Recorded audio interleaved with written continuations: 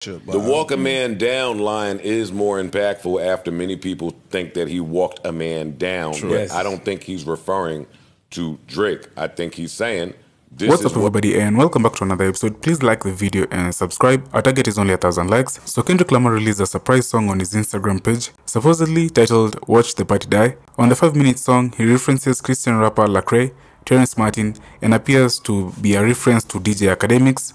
He says, "The radio personality pushing propaganda for salary. Let me know when they turn up as a casualty." The track is the first new music from Kendrick Lamar since he released his smash single "Not Like Us," which was the most successful release amid his back and forth with Drake earlier this year.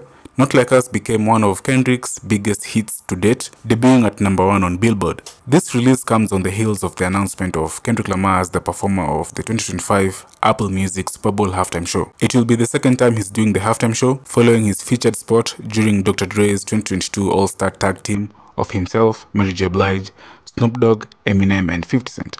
parading.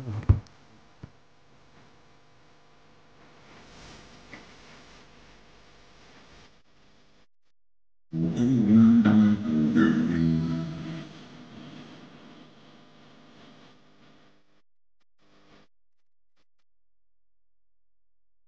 to him. Hey. I do need to work on my patience.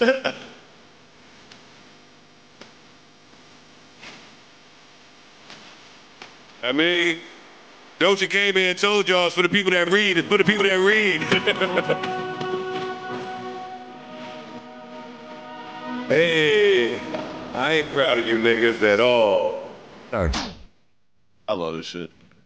All right. If you had This is- Parks loving this on the Joe Budden Yeah. podcast bingo card, I think that's are, a given. This is my bag. Like you are hitting. Uh-huh. All right. Parks absolutely loves it. little soul loop. I guess we're uh, starting from that way. All right. Big uh, freeze. Cool song. I'll never play it again. I'm not. Mm. This mad. is I don't, not I don't love. I don't love or hate it. It's just. It's cool. Like I get what he's saying. I understand what the song was meant to do, but this is not something that I would ever go back to listen to again. Okay. All right. Don't love it. Don't hate it. Cool. We'll never revisit this. Big freeze. You want to give everybody your socials? Yeah. uh, officially. Add Ice. officially ice. Officially Black Ice. Twitter Hall of Fame, nigga. Fuck is y'all talking about out there? Y'all know his body. Big, uh, big ish. Um, conceptually, it was like a eight and a half for me. I like what he was talking about. I understand everything he was saying.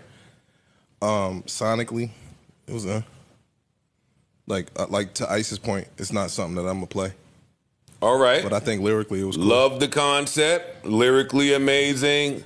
As far as revisiting this, low probability there. Low probability. Flip. I like the record. Um, I just think the timing is wrong for me. I think it's the wrong time. I think, especially after everything that's going on with the whole Super Bowl thing, I just think to put a song out like that, it's just the wrong time. Um, that's the only thing for me that didn't make me really. I like the record. I think it's dope. I listened to it a couple of times. I like what he's saying, but it's like, nigga, you already won. It's not the time. You got the Super Bowl. People are mad about the Super Bowl, and then you drop this record. It's like kicking a dog while it's down. That's how I took it. You took. You take this as a diss record. You took this as a diss, yeah. Yeah, yeah to me. To who though? To Drake? I thought that's how I took it when I was Oh, listening no, I to definitely. no, I- didn't. I I, didn't didn't take it as a I didn't take I track. that didn't take at it all. as that at all. I, I, Not at all. it's like more critical. He criticizing society. He criticizing hip hop. He Nah, I took criticizing it- I took- I took it as he uh, was- our culture. But The uh, walk a man down line is more impactful after many people think that he walked a man down. But Yes. I don't think he's referring to Drake. I think he's saying this is what it's going to take from all of us. Yes, I agree. Tough love to the people, and we'll be better for it if we if we What about the kill line the when he, bullshit. when he said that there's no there's no turning back? Uh, what's the line he said? He said the line as far as I'm going to continue to play it. I don't know if the line you was talking about is in his first. no, it's in the beginning. As far as when he said that um there's no forgiveness. Uh, I gotta hear it again. It went to, he said it, it went too far as no forgiveness or something to that effect of basically saying that.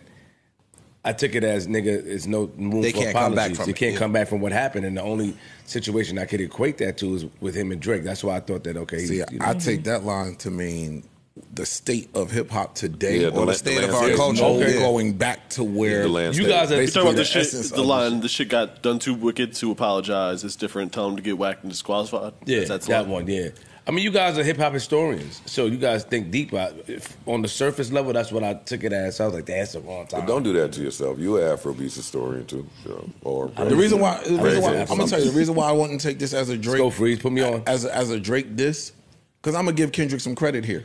This is the same person that said if I catch flight, it's gonna, it's gonna be direct, and I'm not sneak dissing, I'm not subbing. So for you to, if this were a Drake diss and you come out subbing like this, it's very hypocritical of everything you just said. But was so it a I'm gonna sub? give him benefit of the doubt and Okay. say he wasn't doing that. Got he it. was Okay. actually talking about him just being fed up with where hip hop is today, Mm-hmm. and I'm tired of this shit. And it's going to take basically this is my call to destroy and rebuild type Got of it. shit. This is destroy and rebuild. This is not. This is not. uh This is much not bigger just- than Drake. This And is not not just just hip-hop. way bigger than Drake. Got it. And this is a couple days off of the Super Bowl promo vid saying no round twos.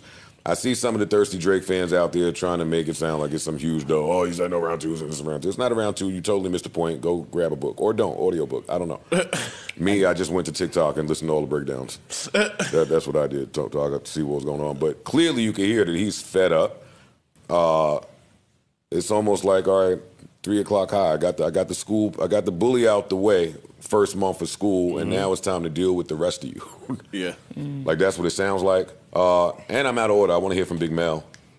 Um, I like the record. Um, it's I'm not turning it off if it comes on, but I liked a lot more of the you know music that we heard earlier. Um, but it, I thought the timing was weird as well, unless it's just this is like a prelude to what is going to be the content of the entire album. So, and I also didn't take it as like a full on Drake diss. understand. I thought that it was like a jump off, like to where he understood that everybody would assume it was, and then it really became an indictment on the industry as a whole. And especially when you get to the third verse, I feel like he's really shooting at like YouTubers and streamers and stuff like that, like you know, kind of like um, buzzards picking at a carcass. You know what I'm saying? Like that was kind of how I processed. Like we'll get to the third verse, Yeah. but that was where that was what really stood out in terms of the song for me. I think that was a lot. A lot. Selling over six hundred thousand records. No, I wouldn't even ask you that. How many more drops you think we get before we get the album from Kendrick? A few more. You got to You got to get drops I'm just saying. Five. IG look from yeah. now till February. Yeah, Yeah, between between uh, three and five. You got to. If you have a whole project and you're trying to sell your project, and you have the Super Bowl, and you have this, the next single that's coming, and you'll want to do something around that, even for the lowest of visible guys. He is he is visibly low. What are we about to be in October? Yeah, I'm gonna go four, four or five. It's five Four or months five? till the Okay. Super Bowl, so Okay. I don't think you'll give us one a month even though. So y'all think his album does not come out prior to the Super Bowl? Uh, I think his album, maybe prior to. I- at first no, I- actually no, because the whole industry shut down from uh, December to January. No, he ain't dropping. I don't have him dropping before then. At first, I thought no. No. But as I think so. unorthodox as this nigga I move, so. I wouldn't be surprised, yo. I wouldn't be shocked if you get a silent, a secret drop somewhere. Would I bet my poker chips center table for that? No. I'm not betting on that. I fold.